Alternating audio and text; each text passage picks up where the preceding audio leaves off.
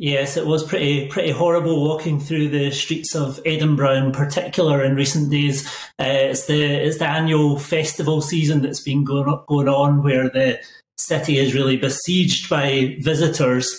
So it's the worst possible time from the perspective of residents and visitors for this to be happening. The rubbish really has piled up. Some of the big beauty spots of the, the city have looked pretty terrible in, in recent days. And it's not just Edinburgh. The while that action has finished for now in Edinburgh, in other cities it's continuing. It comes to an end for a for a period tomorrow, but there's more action on the way next week. And it's not just going to be bins that are affected, it's also going to be schools. There's going to be mass school closures because the unions are lining up more more strike action.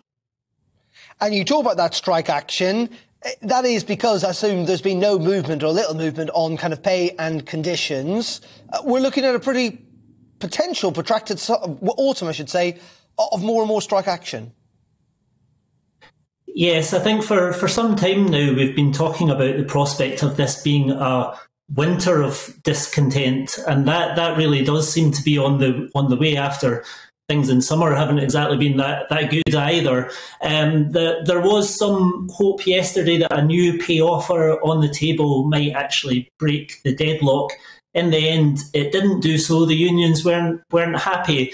Um, it doesn't seem like the pay offer is necessarily a long way off. It sounds like there's a little bit of adjustment needed. Uh, so the Scottish councils, the council umbrella group COSLA, did offer a 5% pay rise with a, a, commitment that people would get a minimum of an extra £1,925.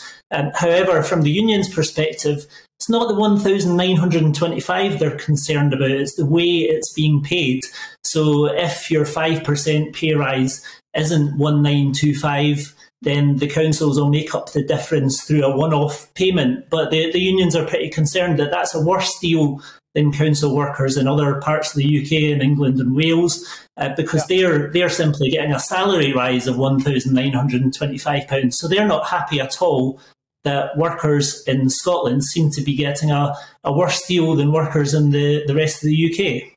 Okay, and just very finally and quickly, Michael, if you can, uh, Liz Truss almost certainly likely to be the UK Prime Minister this time next week. What's the view of her in Scotland from a part of the country, it must be said, that wasn't terribly enamoured uh, with Boris Johnson? Well, I think Liz Truss has been having an interesting campaign in terms of Scotland because she has wanted to talk about the, the union quite a lot. She's also wanted to show that she can stand up to Nicola Sturgeon and that she she won't let her have a, an easy time. That's been the mes- message to Conservative members. Scottish Conservative membership generally have lapped that up, I would say. They're pretty excited about the, the fact that we'll have a Prime Minister who's not, not scared to say what they think about the Scottish Government, not, not scared to criticise it. You won't be surprised at all to hear, though, that it, it won't probably win her many new votes from SNP or potentially Labour voters in Scotland who really maybe Labour in particular thinking that the way to approach the Scottish Government is to try and work with them a little bit more, to try and move on from the issues of independence if, if you can. I don't think that's what we're going to see. I think what we're going to see is a, a really confrontational battle over issues of independence and the Union, which we're rather used to here in Scotland.